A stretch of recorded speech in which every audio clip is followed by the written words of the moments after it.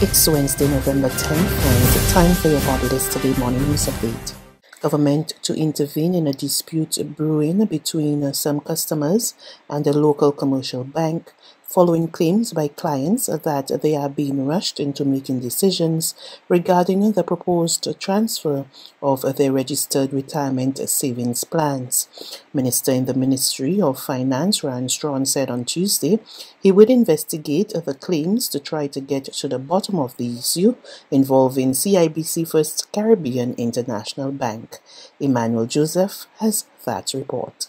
Straughn said he was not aware of the specific claims, but recalled having discussions with the bank sometime in September when that financial institution sought permission to effect the transfer. He disclosed that permission was granted with the understanding that the pensioners would not be disadvantaged during the process. CIBC came to us to see how best we can keep the pensioners, the value that would be transferred as whole as possible, and, and we we we gave permission to be able to effect the transfer.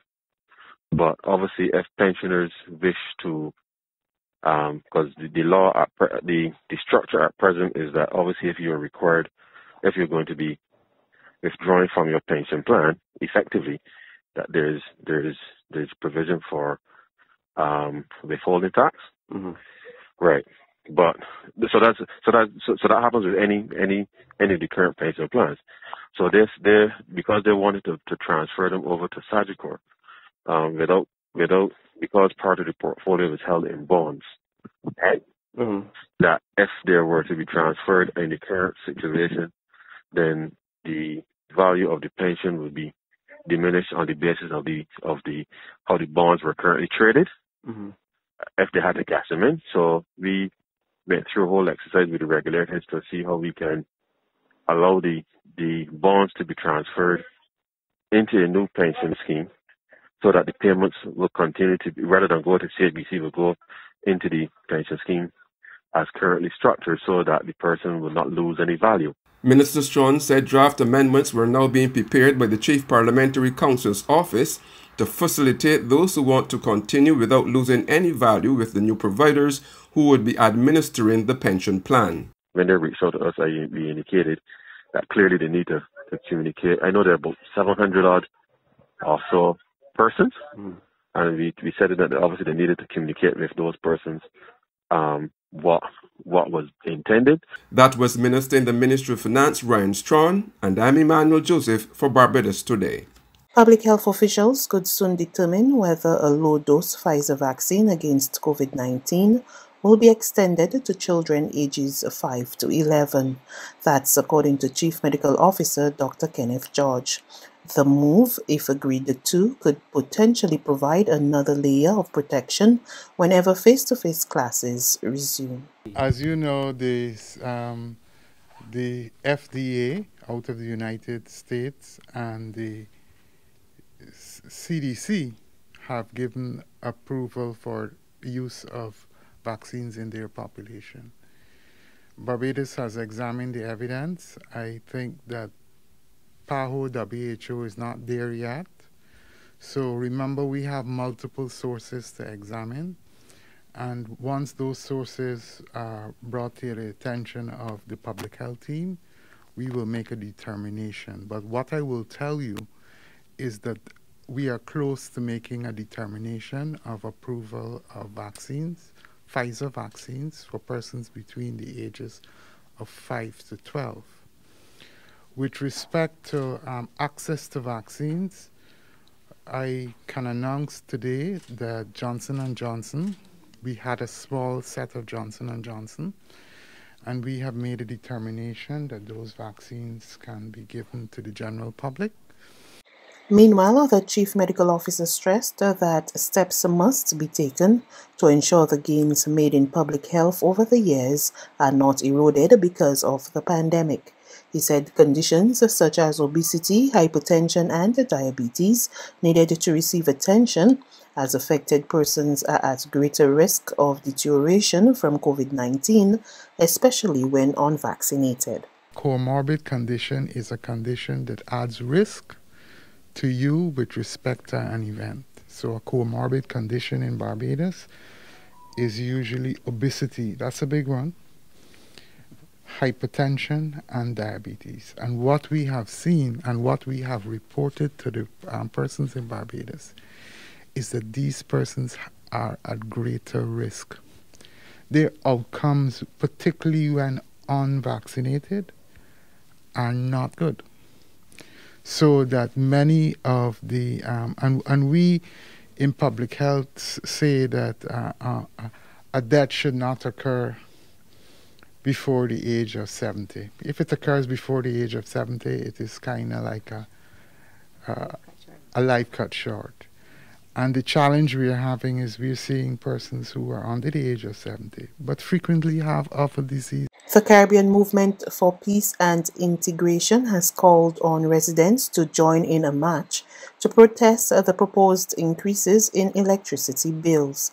In a brief announcement posted on social media on Tuesday, the organization's General Secretary, David Denny, said the march will take place on November 27th at 10 a.m. from Kensington Oval to Independence Square.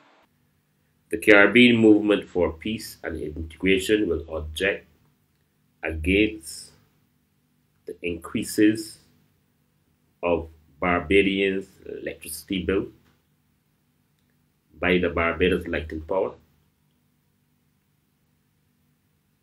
especially at a time when we are all suffering from the COVID 19 situation. Our movement is not happy with the proposed plans by the Light and Power. Our movement is not happy with the granting of permission to Light and Power to increase our light bills before any hearing in relation to the proposals that Light and Power is proposing for the increases of bills of light bills. There's regional and international news after this short break. Hi, my name is Michelle Hines and I own a company called HM Novelties. I have three children, two of which are under the age to get the vaccine and that makes them vulnerable. And the eldest, she is vaccinated and that's a good thing because all she wants to do is hang with her friends. I take care of my 80 year old mum and she has many comorbidities. And I love my mum and I would not want for anything to happen to her. I am one of the ones that suffered absolutely no symptoms for either the first or the second jab. When you have the vaccine, you have a weapon to fight against this virus, to fight against this beast. 95% of my friends and family are vaccinated and that literally makes me feel secure. Let's roll up our sleeves and get back to living.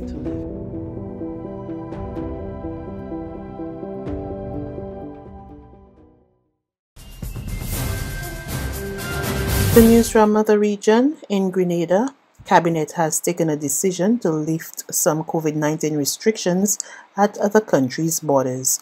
More in this report from the GBN. Noting a steady increase in stay-over visitors as well as the number of flights to Grenada, Tourism Minister Clarice Modeste Curwen says Cabinet has taken a decision to further lift the restrictions at our borders.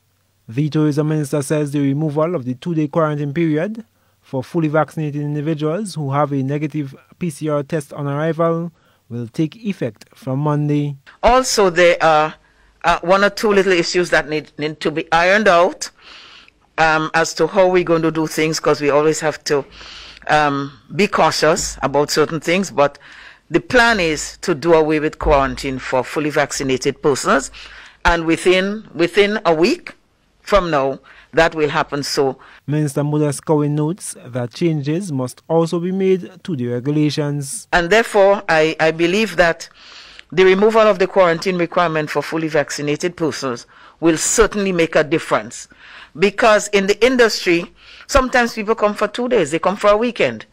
And if you have two days in quarantine, then you know, it's a waste of time. Um, and even if you have one week to lose two days. He said a major factor in this decision is the low positive case count witnessed over an extended period.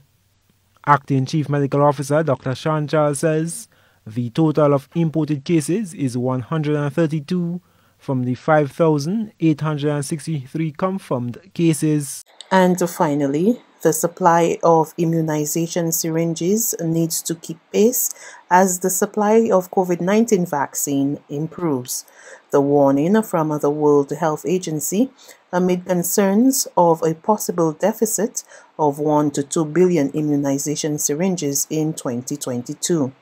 This, according to Lisa Hedman, who is the Senior Advisor for Access to Medicines and Health Products at the World Health Organization, would then lead to a serious problem such as slowing down of immunization around the world. If we're promoting equity in making vaccines available to the world, and we are promoting equity to make vaccines available, then we have to do the same with the syringes.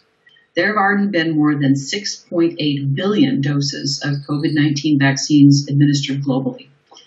Now, to give you a comparison, this is nearly double the number of routine vaccinations that are given per year, which of course means double the number of immunization syringes. A shortage of syringes is unfortunately a real possibility, and, and here's some more numbers. With a global manufacturing capacity of around 6 billion per year for immunization syringes, it's pretty clear that a deficit in 2022 of over a billion could happen if we continue with business as usual. One serious result of a shortage could be delays in routine immunizations and other healthcare services. And so here we're talking about the injections that we give as part of normal healthcare. Now, it could have a public health impact for years to come if we have a generation of children who don't receive their childhood vaccinations. That's news. But for the very latest, visit us at www.barbadostoday.bb. You can also subscribe to our e-paper, email updates, or like us on Facebook, and sign up for our breaking news alerts via WhatsApp. We're also on Izumi Media in bus terminals, as well as screenplay at supermarkets and gas stations near you. And you can also hear us on Mix 96.9 FM and Capital Media HD 99.3 FM.